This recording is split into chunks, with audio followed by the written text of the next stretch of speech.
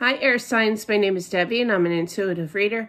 And I'm here today to give you guys your bonus readings for all the air signs out there. Hopefully, you guys are doing well, guys. Don't forget to smash that like button, share, comment down below, as well as subscribe. And check out the link, the Amazon link to my new book, Accepting the Gift, all about the paranormal, my all my journey. Such a cool book. It's all story after story about it. So let's get into it here. We're going to start off first for the sign of Libra. Libra, Libra. What does the sign of Libra need to know here?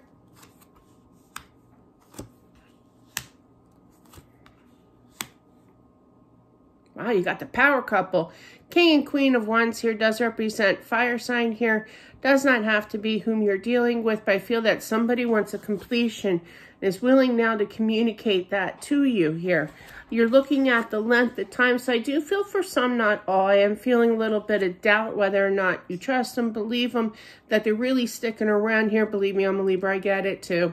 Uh, but definitely with the power couple of that King of Wands right after that, looking at the length of time too, that tells me is that they're willing to put in that show, showing that effort with that wand energy, but more so uh, knowing that they have to really put in this work. It's going to take some time to recoup the energy of this relationship again and putting in that work again, but they're willing and determined to do so. So that's what I have. That's a nice spread. You know, you do you. Everybody's going to be different, definitely. Gemini. Gemini. Whoopsie. All right, Gemini, what's going on, man? what is going on? There you go. Holding your power lovers card. Each major arcana holds their own energy here.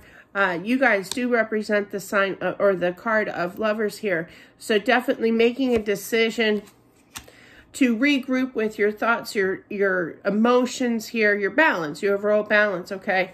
You're going to continue to wait. I feel with these two cards added together, that's the nine of, nine of uh, uh, pentacles here, but definitely waiting this out, continuing to put balance into something after somebody walked away, okay?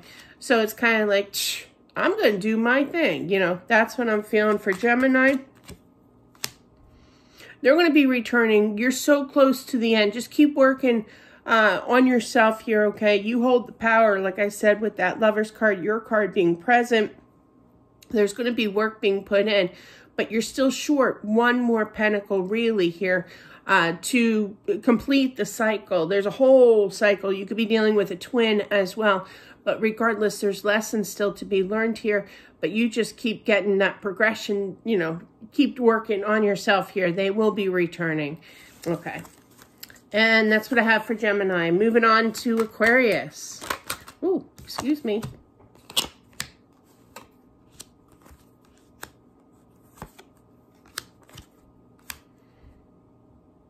Okay. All right. So this has been a tough cycle. You could be dealing with either a soulmate here or a high priestess does represent twin flame. Okay. Regardless, this person is definitely your wish fulfillment, but it's been a very tough cycle. Now, this is where it goes 50-50, okay? It's not going to resonate with everyone with the yay or the nay kind of thing. But definitely the Queen of Swords is known for, hey, welcome back. Here I am. I'm communicating. Could be dealing with another air sign energy with that Queen of Swords energy. But definitely the Queen of Swords is also known for the cutout queen. So when they return, you've already made your decision that you're done. You're done. You're cutting out that, taking that next step when they come back. It all depends on what you want, Aquarius, definitely. But I do feel that this has definitely been a tough cycle. You still feel that connection.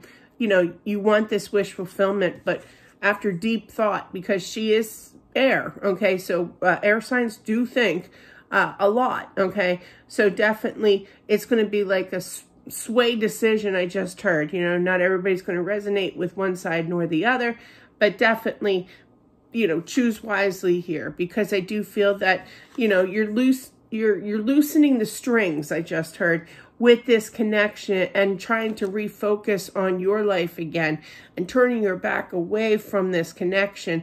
And some will just say, no, no, thank you when they return. Uh, no, thank you. I don't want this relationship back again. Whereas others, you still feel that connection, okay?